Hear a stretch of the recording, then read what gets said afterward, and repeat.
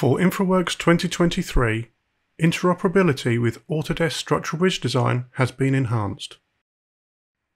During the girder design process, many iterations of the design cycle may be required to identify a workable arrangement. As part of this process, design issues may be discovered, and these can be explored in more detail by connecting the design to Autodesk Structural Bridge Design. Whether using the line girder or refined analysis methods, the design can be opened in Autodesk Structural Bridge Design and the design explored and failure mode investigated. This can be done visually using the stress plots or numerically by examining the automatically generated design reports. The bridge designer can then make the necessary changes to material properties and section geometry to ensure compliance with the relevant design code.